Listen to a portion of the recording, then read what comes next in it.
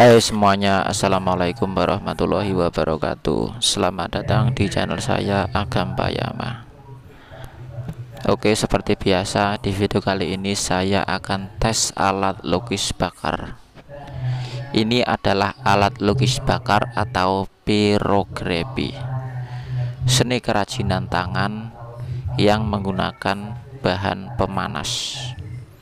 Saya akan menggambar bunga ini adalah alat lukis bakar yang saya buat sendiri.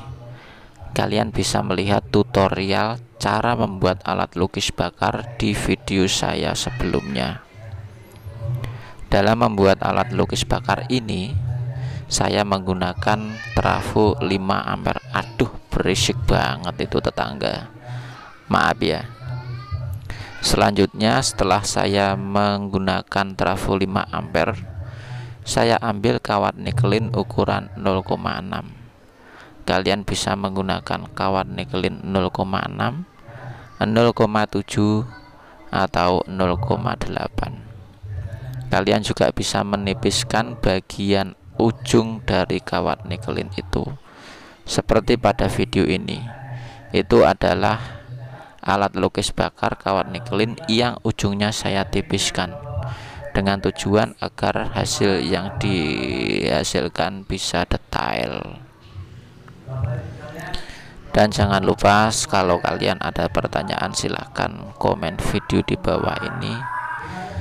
Tentunya setelah mengklik tombol like dan subscribe. Atau kalian bisa menghubungi nomor WA saya.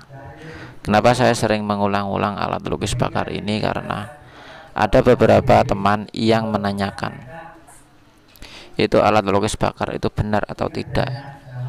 Ya tentu saja benar karena dalam membuat video saya selalu tanpa skip dan saya tidak edit. Saya pasti akan jawab jika ada pertanyaan. Karena terlalu sering di YouTube itu ada berkeliaran video tutorial cara membuat alat lukis bakar yang dari jarum suntik atau cas HP dan pasti kalian pasti gagal. Karena saya sudah pernah sering praktek membuat alat lukis bakar dari jas HP atau trafo yang kecil itu. Bukan trafo ya adaptor. Hasilnya zong. Yang ada malah ada bau-bau sedap dan bau-bau wangi.